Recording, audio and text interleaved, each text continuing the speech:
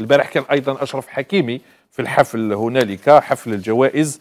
بصح أشرف حكيمي الكاميرات كانت تتابعه في قضية أخرى ليست قضية ترشحه في المسابقات والجوائز والتشكيلة المثالية وإنما بسبب القضية التي أصبح يلاحق بها وهي قضية الاعتداء على فتاة.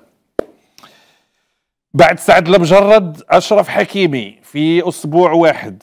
فأشرف حكيمي لاعب باريس سان جيرمان صنع الحدث آه، في المونديال ولكن الحدث اللي صنعه هذه الساعات الماضية هو ما كشفته صحيفة لو باريزيان أنه يواجه اتهاما بالاعتداء على فتاة شابة في منزله. المدعي العام في نونتير الضاحية الغربية للعاصمة باريس فتح تحقيقا في قضية الاعتداء.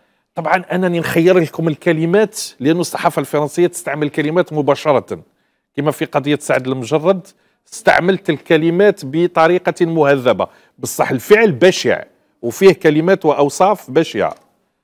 فالفعل الاعتداء وفق ما أفاد مصادر مطلع على القضية لفتت لو باريزيان إلى أن الضحية لا ترغب في تقديم شكوى.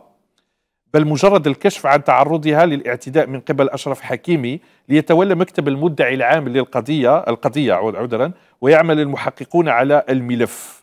الفتاة تبلغ من العمر 24 سنة وتعرف عليها أشرف حكيمي عبر الإنستغرام في 16 يناير. ويوم السبت الموافق 25 فبراير ذهبت إلى منزلي يعني ما استناش بزاف شهر برك 16 يناير 25 فبراير.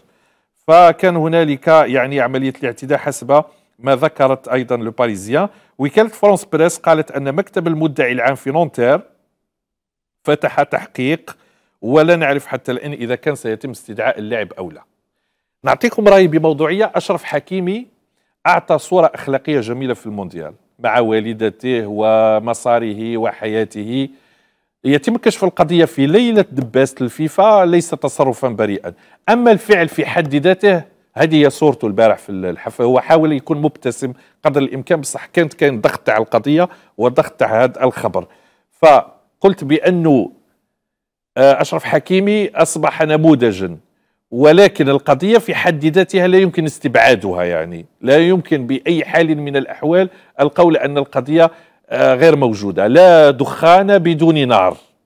ويتم كشفها من لو باريزيان. هذا هو موقع لو باريزيان الذي آه، كشف آه، قضية تورط أشرف حكيمي في قضية الاعتداء.